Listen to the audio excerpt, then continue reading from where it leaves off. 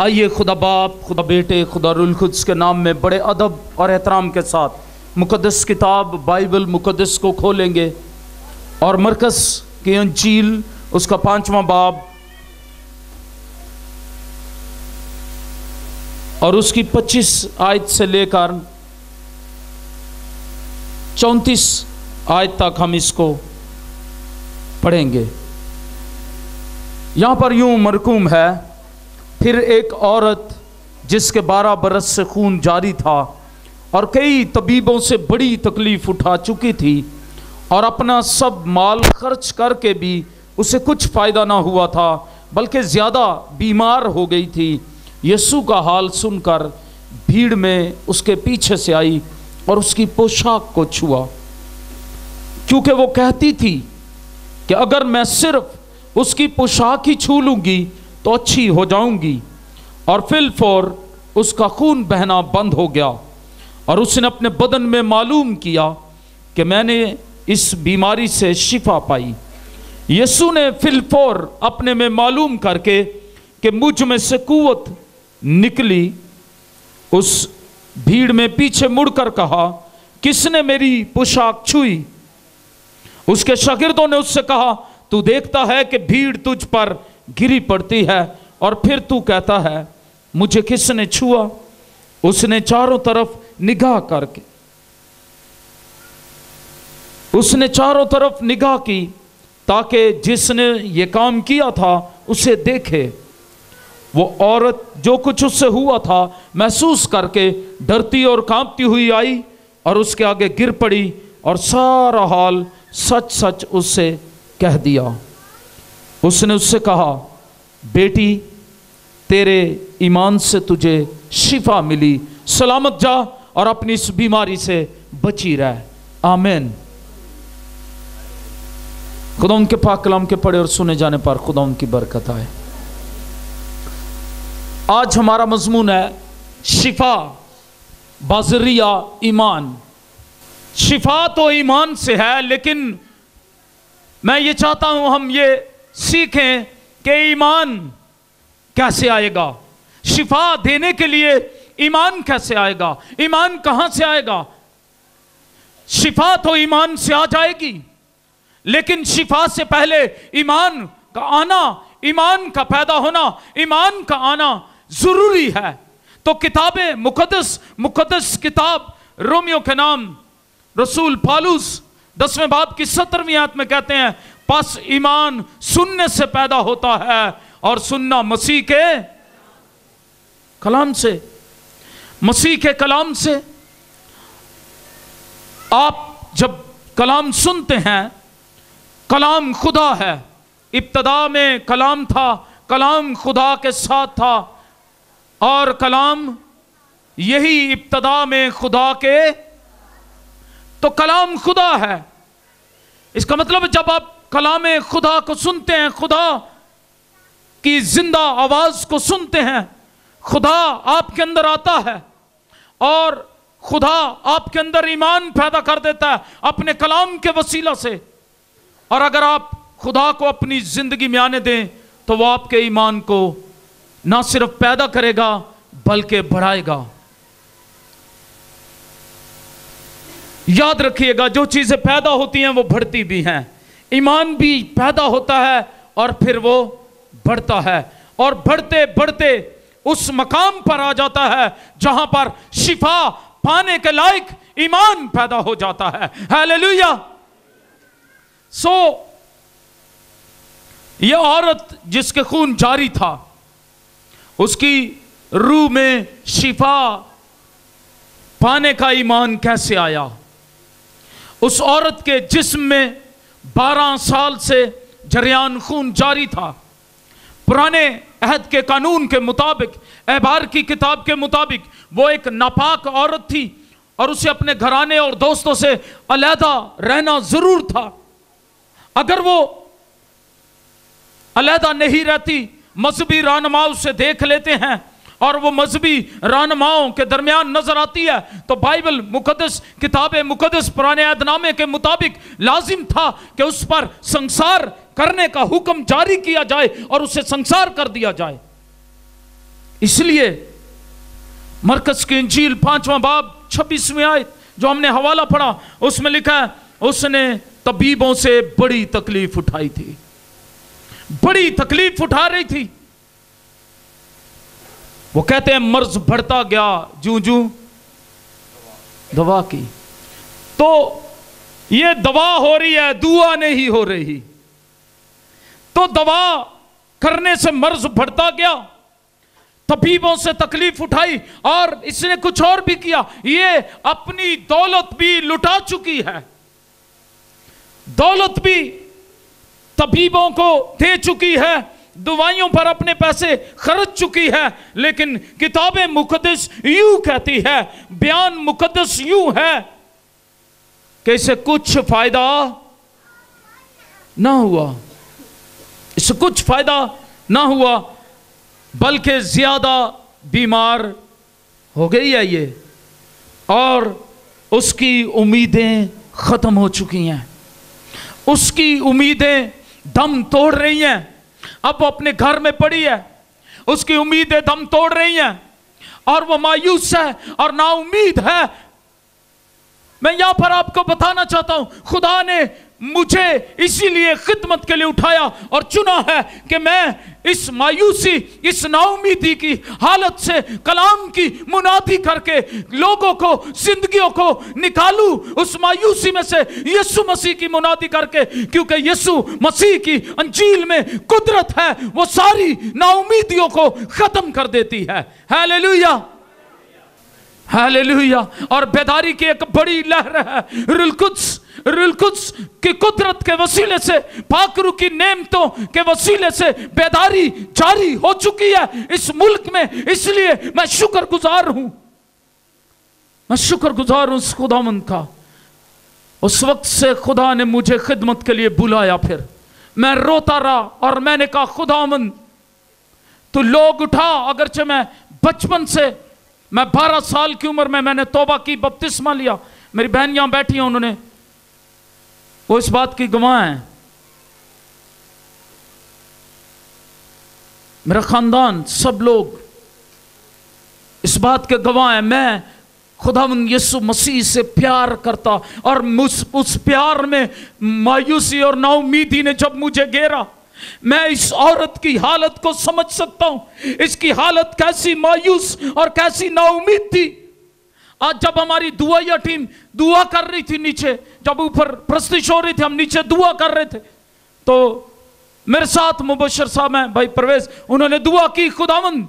उनको नहीं पता मैं क्या कलाम सुनाने वाला हूँ, लेकिन उन्होंने मेरे पास बैठे हुए वो दुआ कर रहे थे, रो रहे थे, खुदावंद, लोग मायूस और नाउमीद जो हैं, उनकी मायूसियाँ और नाउमीदियाँ इस क्रूसेट की वजह से, इस कन्वेंशन की वजह से खत्म हो जाएँ। हालेलुया! और मेरा ईमान है, खुदा ऐसा करेगा। खुदा ने ऐसा करने के लिए हमें यह फजल बख्शा। हम ये रुपया पैसा जो खुदा के काम के लिए लगाते हैं इसका खास मकसद है। मेरा ईमान है और मैं आपको बताना चाहता हूँ, ये नाउमीदियाँ खत्म हो सकती हैं। तब से मैंने खुदावंद की खिदमत का इरादा किया और मैं तब से खुदावंद की खिदमत कर रहा हूँ। सिर्फ़ इसलिए कि मायूस लोग जादूगरों के पीछे ना भागे। ना उम्मीद होकर लोग जादूगरों के पीछे ना भागे। बल्कि वो ये कहें, मैंने कल कहा, वो साधु सुंदर सिंह की तरह के हमारा एक ही मुर्शिद है और उसका नाम यीशु मसीह है। और कोई ज़मीन पर बुज़ुर्ग नहीं है, एक ही बुज़ुर्ग हस्ती है, जो हमारी सारी जरूरतों को पूरी कर सकती है, और उसका नाम यीशु मसीह है। एक ही नाम है, सब नामों से आला, आसमान और ज़मीन पर एक ही नाम बख्शा गया, जो सब नामों से आला, हर एक घुटना उसके आगे झुकेगा, हर एक ज़ुबान इकरार करेगी कि यीशु मसीह खुदावंद खुदा है। हालेलुया! इस बात ने मुझे खदमत के लिए उभार दिया। मायूसियाँ इंसानों को मार देती हैं। मैं आपको बताना चाहता हूँ, ये मायूसी इसको मार रही थी, रोज मर रही थी ये। रोज ये औरत, मैं इसकी हालत को समझ सकता हूँ। ये रोज मरती है, रोज मौत की तरफ़ बढ़ रही है, लेकिन यहाँ पर मायूसी नज़र आती है हमें। और उसकी उम्मीदें ख़त्म हो चुकी हैं। वो अपनी उम्मीदें ख़त्म करके शायद लेटी हुई है। लेकिन ईमान कैसे पैदा होता है? ईमान सुनने से पैदा होता है। मैं आज बताऊँगा, मैं आज बताना चाहता हूँ कि हम शिफा तो ईमान से है। लेकिन ईमान कैसे हासिल करें? और ये ईमान कैसे काम करेगा? हम शिफा पा जाएँ। ये मुकाशफा जब आपकी ज़िंदगी में आ जाएगा, आप बहुत से लोगों तक ये मुकाशफा पहुँचा देंगे। तो मेरा ईमान है अंचील की कुदरत से, जब से मैंने मुनादी करना शुरू की, मैंने अंचील के इस मुकाशफे को, इस बात को लोगों तक पहुंचाना शुरू किया। जिंदगियाँ तब्दील होते हुए मैंने देखी मोजात होते हुए मैंने देखे, मैंने अंधों की आँखें खुलती हुई देखी, मैंने लंगड़ों को चलते हुए देखा, मैंने बीमारियों को भागते हुए देखा, और मैंने देखा, बदकार गुनहगार यीशु मसीह के कदमों में आकर गिर गए हैं। मायूस लोग नाचने लग पड़ते हैं। फिर लुडियाँ पेंदिया ने। हालेलुया। जय यीशु दे। लिहाजा कैसे ईमान, शिफा ईमान से ईमान कैसे पैदा होगा? मैंने बताया रोमियो दस बाब सत्रह मुकदस किताब में लिखा है, बस ईमान सुनने से पैदा होता है और सुनना मसीह के कलाम से, जब आप मसीह के कलाम से सुनते हैं तो ये ईमान पैदा होता है, वो ईमान बढ़ता है। और ये बिल्कुल ऐसे ही है। अगर हम एक कमरे में हों, जहाँ बिजली की तारें हों, कनेक्शन हो, और हम फिर भी अंधेरे में बैठे हुए हों, अगर ये स्विच बंद कर दिए जाएँ लाइट्स के तो यहाँ क्या हो जाएगा? ये अंधेरा हो जाएगा। बिजली तो है। बड़ी बड़ी सर्च लाइट्स भी लगी हुई हैं। ट्यूब लाइट्स भी हैं। ग्लोब भी हैं। सब कुछ है।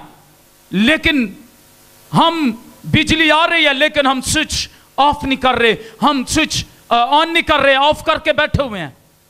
हमने स्विच ऑफ़ किए हुए हैं। तो मैं आज बताना चाहता हूँ, लोग अंधेरे में बैठे होते हैं। आज भी बहुत से लोग पापों के, मायूसियों के, नाउमीदियों के अंधेरों में इसलिए बैठे हुए हैं कि उन्होंने ईमान का स्विच ऑन नहीं किया। अगर आप ईमान का स्विच आज ऑन करेंगे तो मेरा ईमान है आपकी मायूसियाँ, आपकी नाउमीदियाँ, आपकी बीमारियाँ, आपकी परेशानियाँ, बेरोजगारियाँ, मुश्किलात यीशु के नाम से चली जाएँगी। हालेलुया! आप अपने मुँह से मांगेंगे और वो आज आपको देगा। हालेलुया उसने कहा, मांगो तो तुम्हें ढूंढो तो दरवाज़ा खटखटाओ तो तुम्हारे वास्ते। आज मेरा ईमान है, मेरे पीछे कहें, मैं अपना मोजा हासिल करूँगा। मैं अपनी शिफा हासिल करूँगा, करूँगी। हालेलुया मैं आज खाली झोली नहीं जाऊँगी, नहीं जाऊँगा। हालेलुया। यकीन जाने जब से यहाँ बादात हो रही हैं, यहाँ बहुत सी बहनें बैठी हुई हैं जो गवाहियाँ हैं। एक बहन, भाई सलीम, आपकी शादी को कितने साल हुए? चार साल से औलाद नहीं थी। ये चर्च नहीं आते थे। कहीं और जाते थे। यहाँ चर्च नहीं आते थे। मैंने इनको कहा, भाई, आप चर्च आना शुरू हों। आप शिफा पा जाएँगे, आपको खुदा बरकत दे देगा। जब ये चर्च आना शुरू हुए, साल 2015 के पहले हफ़्ते में ही, मैं चाहता हूँ दोनों मियाँ बीवी खड़े हो जाएँ, अगर यहाँ आए तो। साल 2015 के पहले हफ़्ते में खुदा ने इन्हें बरकत दे दी।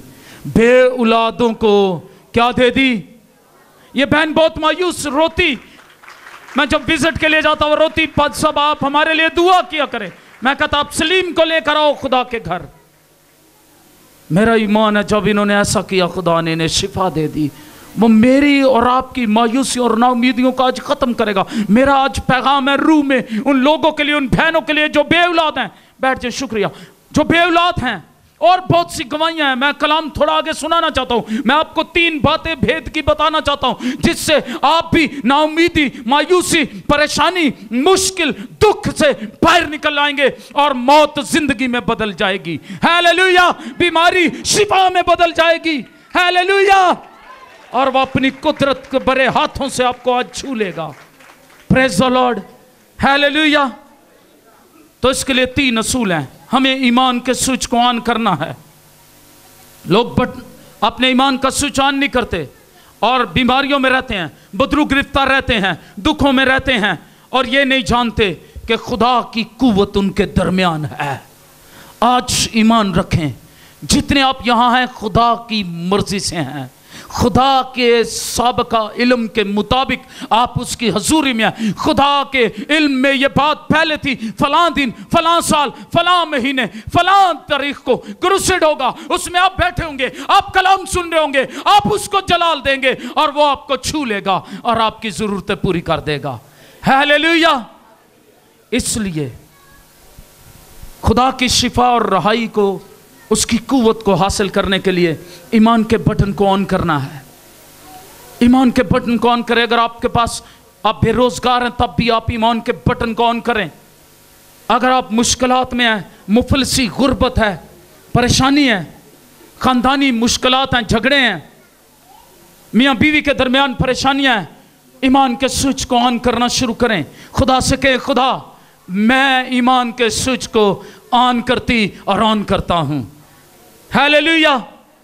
तब क्या होगा? शिफा, नजात और शिफा जो ईमान से आपको मिल जाएगी, क्योंकि बाइबल मुकदस में लिखा है। गौर से सुनिए, बाइबल मुकदस में यह बयान है, खुदा के पास आने वाले को ईमान लाना चाहिए कि वो मौजूद है और अपने तालबों को बदला। यहाँ बदले का मतलब क्या है? रिवार्ड, अजर। रिवार्ड देता है, अजर देता है, जो उसके कदमों में आते हैं, जो उससे, उसे जलाल देते हैं, वो उनको रिवॉर्ड देता है, ये उसका वादा है। हालेलुया। जब आप आए हैं, आप ईमान रखे, खुदा मौजूद है, वो आपको बरकत देगा, लेकिन इसके लिए एक तरतीब है। आज मैं तरतीब बताना चाहता हूँ, और मैं चाहता हूँ ये तरतीब आपके अंदर आ जाए, और जब ये तरतीब आपको आए, आप दूसरों को ये तरतीब बताएँ। इस, ये तरतीब यूँ है। पहली बात, इस औरत की ज़िंदगी से, इस मुकद्दस कलाम में से ये तरतीब मैं आज आपके सामने बयान करना चाहता हूँ। तरतीब यूँ है, तीन बातें या तीन अनासर हैं। पहली बात, शिफा ईमान से हासिल करने के लिए पहली बात, इसका ईमान बोलना शुरू हो गया। मैंने बताया ईमान पैदा हो गया अब ईमान शिफा लेने के लिए क्या करता है? पहली बात जो ईमान पैदा हुआ है, वो ईमान बोलना शुरू हो गया है। और किताब मुकदस में लिखा है, जब ईमान पैदा हुआ, ईमान सुनने से पैदा हुआ है। अब जब इसने सुना है, एक दिन जब वो की हालत में बैठी हुई थी, और उसने यस्सु के बारे में सुना। मरकस की इंजील पांचवा बाप सताइसवीं में लिखा है यस्सु का हाल सुनकर भीड़ में से उसके पीछे से आई। इसने यीशु मसीह का हाल सुना। इससे पहले इसने कई और लोगों के हाल सुने होंगे, लेकिन ये मसीहा का इंतज़ार करती है। नाउमीदी इसकी इस तरह खत्म होती है। इसकी नाउमीदी शिफा में इस तरह बदलना शुरू होती है। इसकी बीमारी शिफा में इस तरह बदलना शुरू होती है। इसकी नाउमीदी उम्मीद में इस तरह बदलना शुरू होती है कि ये सुनती है। और सुनकर क्या होता है? इसने सुना क्या है? सुनकर इसका ईमान बोलता है।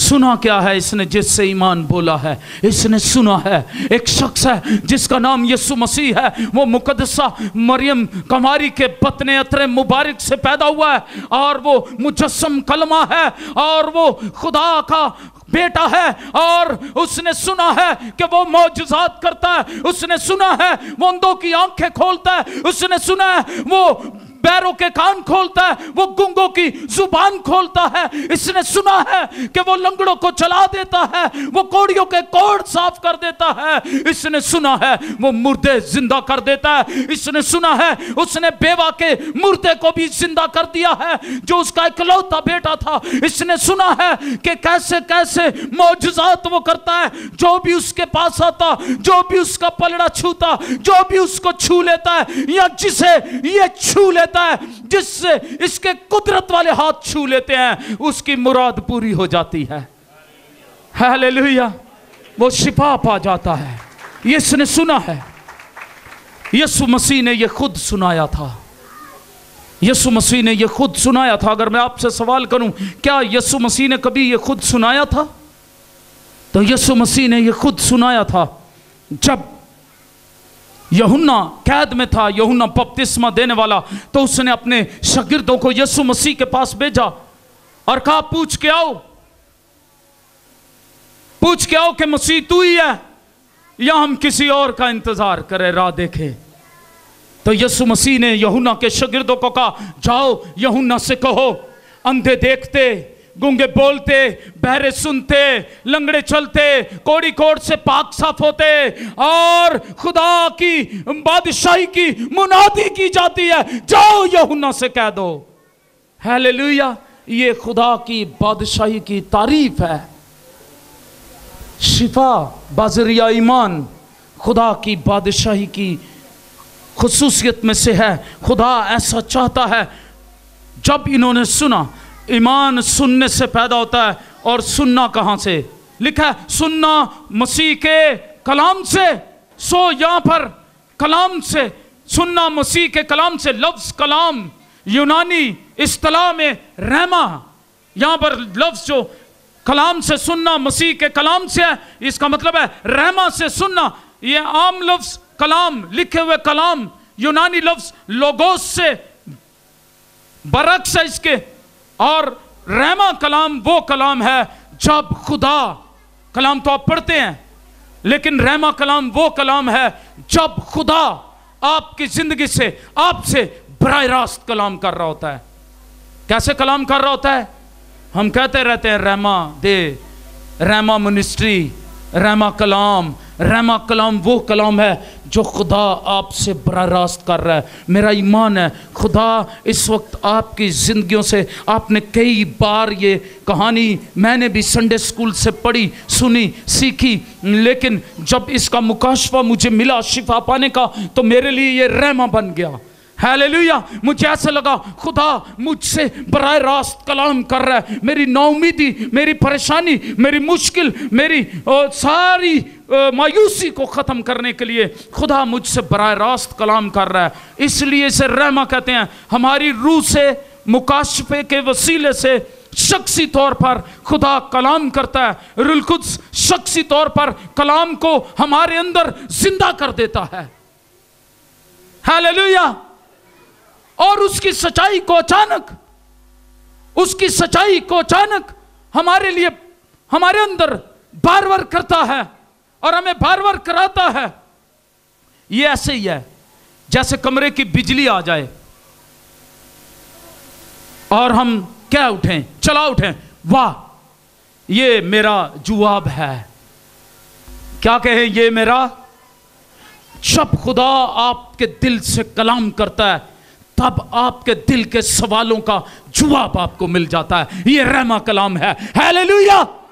अगरचे हमने उस कलाम को कई बार पढ़ा होता है, लेकिन उस वक्त खुदा इस तरह से कलाम करता है हमारे लिए। हम कहते हैं, वाह, मैंने पहले इसे इस तरह कभी नहीं देखा, कभी नहीं सोचा, कभी नहीं सुना। ये मेरे लिए कलाम है। हालेलुया। ये कलाम है रहमा। इसके अंदर सुना हुआ कलाम जो है वो ज़िंदगी और शिफा लाता है। ज़िंदगी और शिफा लाता है। इसलिए इसका ईमान जो है, जब ईमान पैदा होता है तो वो ईमान बोलता है। पहली बात मैंने क्या बताई? ईमान सुनने से पैदा होता है। दूसरी बात, सुना हुआ सुना हुआ कलाम जो है, जब ईमान पैदा कर देता है तो दूसरी बात, ईमान बोलता है। दूसरी बात, ईमान क्या करता है? ईमान बोलता है। आप कहेंगे, ये कैसे? ईमान कैसे बोल सकता है? मैंने भी सोचा, ईमान कैसे बोल सकता है? ईमान तो बोल नहीं सकता, लेकिन यहाँ पर किताबें मुकदस बताती है, ईमान बोलता है। और यहाँ पर लिखा, ये औरत जब मुश्किलात के मुतलिक नहीं बोल रही थी, या अपनी परेशानियों के मुतलिक नहीं बोल रही थी, अब इसके ईमान ने जब बोलना शुरू किया तो इसके ईमान ने मुश्किलात के मुतलिक बोलना नहीं शुरू किया, इसके ईमान ने परेशानियों के मुतलिक बोलना शुरू नहीं किया, इसके ईमान ने गिला करना शुरू नहीं किया, इसके ईमान ने बुड़बुड़ाना शुरू नहीं किया, इसके अंदर अब ईमान पैदा हो गया, ईमान बोल रहा है, ईमान क्या बोल रहा है? ईमान बोलता है और ईमान कहता है। मरकस की झील पांचवा बाब अट्ठाईसवीं आयत। यहाँ लिखा है, पाँचवें बाब की अट्ठाईसवीं आयत में ईमान बोलता है, वो कहती थी। अब वो क्या कहना शुरू हो गया है? उसने सुना है, एक शख्स यीशु है, उस सुनने से उसके अंदर ईमान पैदा हुआ है। पहली बात, अब ईमान का स्विच ऑन हो गया है। हालेलुया! और ईमान का स्विच जबान हो गया है, ईमान बोलना शुरू हो गया है। हालेलुया। ईमान क्या बोलता है? मेरे पीछे के वो कहती थी, अगर मैं उसकी पोशाक ही छू लूँगी तो अच्छी हो जाऊँगी। ये बोलने वाला ईमान है। हालेलुया। हालेलुया। ये ईमान बोलना शुरू हो गया है। ईमान को ज़ुबान मिल गई है। पहले नाउमीदी की ज़ुबान थी, अब ईमान की ज़ुबान मिल गई है। ईमान बोलना शुरू हो गया और वो कहती है, मैं छू लूँगी तो अच्छी हो जाऊँगी। इब्रानियों ग्यारह बाब ग्यारह बाब याद से ये ईमान से शुरू होता है। और लिखा, अब ईमान, उम्मीद की हुई चीज़ों का इतमाद और अनदेखी चीज़ों का सबूत है। ईमान जो चीज़ें हम उम्मीद में लाते हैं, उम्मीद करते हैं जिन चीज़ों की, जो चीज़ें हमने देखी नहीं है, उनका सबूत है। हालेलुया। ईमान अनदेखी चीज़ों का सबूत है। ईमान बोलता है और पूरे वसूख से बोलता है। यहाँ बड़े वसूख के साथ शक नहीं है इसमें। यीशु मसीह ने कहा, अगर तुम में राई के दाने के बराबर ईमान हो, ये वो ईमान है जो बोलना शुरू हो जाता है। और तुम इस पहाड़ से कहो, हट जाओ तो ये पहाड़। इसके लिए ये बीमारी किसी पहाड़ से कम नहीं थी, लेकिन अब ईमान बोलना शुरू हो गया। और ईमान ने कहा है ईमान बोलता और कहता है, मैं शिफा पा जाऊँगी। हालेलुया! ये ईमान जब बोलता है तो आपका मौजा आपको मिलता है। वो औरत जानती थी, जिस लम्हे वो उसे छू लेगी, वो अच्छी हो जाएगी। हालेलुया! खुदा यहाँ मौजूद है। मैंने कहा, खुदा के पास आने वाले को ईमान लाना चाहिए कि खुदा क्या है? मौजूद है। अब उसका ईमान था कि मैं जब उसके पास उसकी हजूरी में चली जाऊँगी तो फिर मैं शिफा पा जाऊँगी। इसका ना रुकने वाला ईमान, इसका अब खामोश ना रहने वाला ईमान जो भरपूर इल्फाज वसूख से बोलता है, वो कहता है, मैं शिफा पा जाऊँगी. मुकदस यकूब का खत दूसरा बाब तीसरी आयत में लिखा है, ईमान बगैर अमाल के मुर्दा है। अगर आपका ईमान पैदा हो जाता है सुनने से, अगर आपका ईमान बोलता है, लेकिन आपका ईमान अमल नहीं करता तो वो ईमान तब भी कैसा है? मुर्दा है। कैसा है?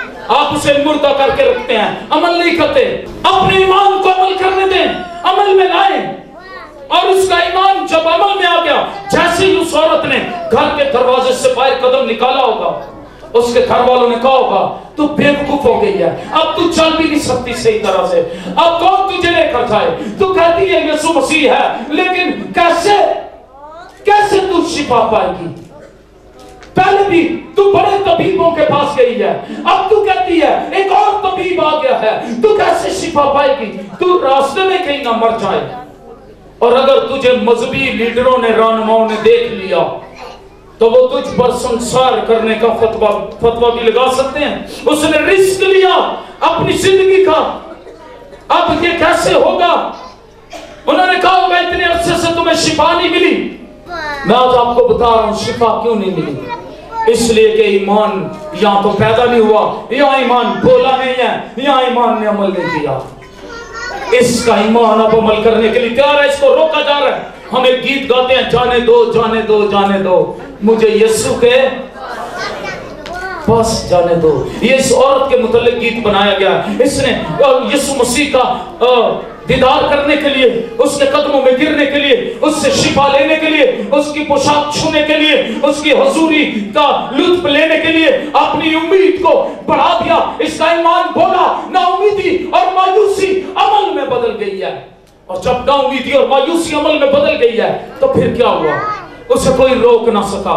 उसकी कमज़ोरी की हालत उसे रोक ना सकी। कोई अज़ीज़, कोई रिश्तेदार, कोई दोस्त उसको यीशु के पास आने से रोक ना सका। बहुत से लोगों के लिए रिश्तेदारी पहाड़ बन जाते हैं।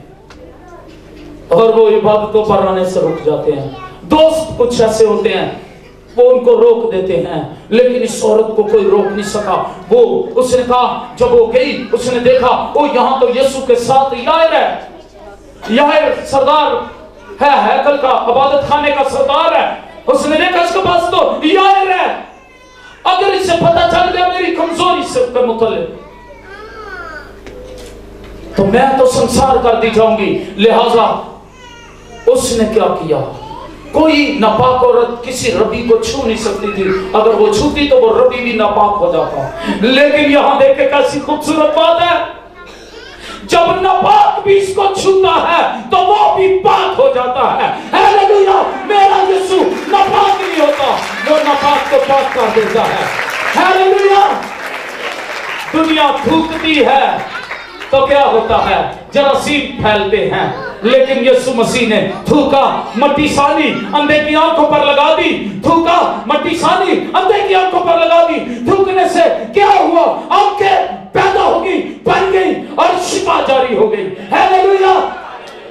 हम दुनिया को थूकने से रोकते हैं। लिखा होता है, थूकना मना है। लेकिन यीशु मसीह ने थूक कर मट्टी सान कर थूक कर उससे आँखें बना दी। हालेलुया। वो मेरा और आपका खुदा कुदरत वाला है। इसने कहा, जब मैं उसका, उसकी पोशाक छू लूँगी तो ऐसे हो जाऊँगी। अचानक जब उसे पता चला यार है तो लिखा है, वो रुकी नहीं है, वो वापिस नहीं गई। बल्कि लिखा, वो यीशु मसीह के पीछे से होती हुई। अब वो अगली तरफ़ से नहीं आई। उसने पीछे से आकर एक काम किया है। उसने पीछे से आकर कुछ कर दिया है। हालेलुया। हालेलुया। उसने पीछे से आकर उसकी पोशाक को छू लिया। और जो ही उसने उसकी पोशाक को छुआ है, हर उस वक्त का यहूदी ये जानता था, उस वक्त का हर वो इंसान जो यहूदियों के रहता था, वो जानता था, यहूदी एक शिफा देने वाले का इंतज़ार कर रहे हैं, एक मसीहा का इंतज़ार कर रहे हैं, जिसके मुतालिक मलाकी नबी ने लिखा है, आफ्ताब सदाकत ताले होगा और उसकी किरणों में शिफा होगी। इसने यही किया। हर रबी अपने सर पर एक चादर लेता था। यीशु मसीह भी अपने दौर के रबियों की तरह, चूँकि यीशु मसीह को रबी और उस्ताद कहा गया, यीशु मसीह भी अपने सर पर वो रबियों वाली चादर लेते। और उस चादर पर खुदा के, यहोवा के निन्यानवे नाम लिखे हुए थे और उसके नीचे झालर थी, किरणें थी और मलाकी नबी का सहीफा जो है उसमें जो पेशन गोई लिखी हुई है, वो पूरी होगी जब इस बीमार औरत के ईमान ने अमल किया और उसने उसकी पोशाक को छू लिया, वो पोशाक वही थी, वो तलीद थी, उसको तलीद कहते हैं। और तलीद जो यीशु मसीह के सर पर थी, उसकी झालर नीचे थी, उसने उसकी किरणों को छू लिया। जब किरणों को छू लिया, मलाकी नबी की पेशन कोई पूरी होगी, आफ्ताब सदाकत ताले होगा, और उसकी किरणों में शिफा होगी। हालेलुया! उसकी किरणों से एक थम क्या हुआ? किताब मुकदस कहती है कि डायनामाइट की सी निकली यीशु मसीह में से। दलेरी से उसने यीशु को जब छुआ, यीशु मसीह में से कुवत निकली और उस कुवत ने उस औरत को शिफा दे दी और ये कुवत उसके बदन में दाखिल होगी उसे शिफा दे दी और शिफा का तूफ़ान, शिफा बदलिया ईमान उसकी ज़िंदगी में दाखिल हो गई। हालेलुया। उसने क्या महसूस किया? लिखा है, बड़ी खूबसूरत बात है और वो उसी वक्त अच्छी हो गई। हालेलुया। किस वक्त अच्छी होगी? किस वक्त जी? किस वक्त अच्छी होगी? फिर किसी वक्त नहीं, उसी वक्त। आप इसी वक्त अच्छे होंगे। हालेलुया जो बीमार है, मेरा ईमान है, वो इसी वक्त अच्छे होंगे। और वो अच्छी हो गई, और यीशु ने उससे कहा, बेटी, तेरे ईमान से तुझे, बेटी, तेरे ईमान से तुझे सलामत जा और अपनी इस बीमारी से बची रह। ज़रूर है। इसने क्या किया? इससे पहले यीशु मसीह ने एक और काम किया। यीशु मसीह ने शागिर्दों से कहा, मुझमें से कुवत निकली है। किसी ने मुझको छुआ शागिर्दों ने कहा, उस्ताद, तुझ पर लोग गिरे पड़ते हैं और तू कहता मुझे छुआ ये तो सारे तेरे ऊपर गिर रहे हैं। हम कैसे जाने किसने छुआ लिखा, यीशु मसीह ने क्या किया? किताब मुकद्दस को पढ़ेंगे। लिखा है उसने चारों तरफ़ निगाह की ताकि जिसने ये काम किया था उसे देखे। क्योंकि यीशु मसीह ने क्या कहा था पहले? उसने कहा, क्योंकि कुवत मुझमें से निकली है। ईमान से जब आप खुदा यीशु मसीह के पास आते हैं, उसकी शिफा देने की कुवत रिलीज़ होती है। हालेलुया! और वो आपको छू लेती है। उसकी शिफा देने की वाली कुवत आती है और आपको छू लेती है। हालेलुया! वो खादिमों के वसीले से आती है और उनके अंदर से होकर आपको छू लेती है। हालेलुया! हालेलुया! आज भी ईमान से ऐसा होने वाला है। ज़रूर है, हम शादी की ताबेदारी करें। जब यीशु मसीह ने इसको देखा, जब उसने ख्याल किया, ये तो सब कुछ जानता है। तो फिर उसने क्या किया? लिखा वो औरत जो कुछ उससे हुआ था महसूस करके डरती और कांपती हुई आई और उसके आगे गिर पड़ी। इस औरत की ये खूबी है। इसने क्या किया? यीशु के कदमों में गिर गई। हालेलुया। और यहूदी जब किसी के आगे गिरते तो उसे सिजदा करने के लिए गिरते हालेलुया।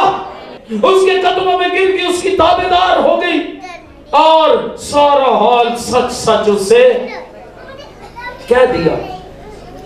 मुझे और आपको ज़रूरत है। जब हम तीन काम करें, हमारे अंदर ईमान पैदा हुआ कलाम सुनने से, मेरा ईमान आपके अंदर ईमान पैदा हुआ कलाम सुनने से, और ये ईमान जब पैदा हुआ कलाम सुनने से, अब ये ईमान जो पैदा हो गया, ये बोल रहा है, ये बोलना शुरू हुआ है। अब वक्त है, ये अमल करे और यीशु के कदमों में गिर जाए। हालेलुया।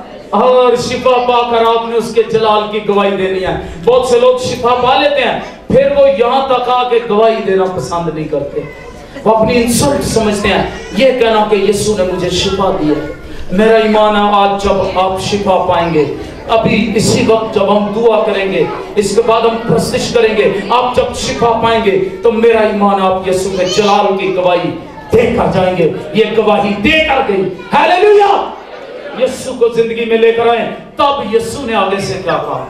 अगर ऐसे भाग जाती, कुछ दिनों बाद शायद फिर बीमार हो जाती, लेकिन यीशु मसीह के आगे जब गिरी, उससे सिजदा किया, उससे अपना हाल कह दिया गवाही सबके सामने आ गई तो उसने उससे कहा, बेटी, तू मेरी ताबेदार हो गई है।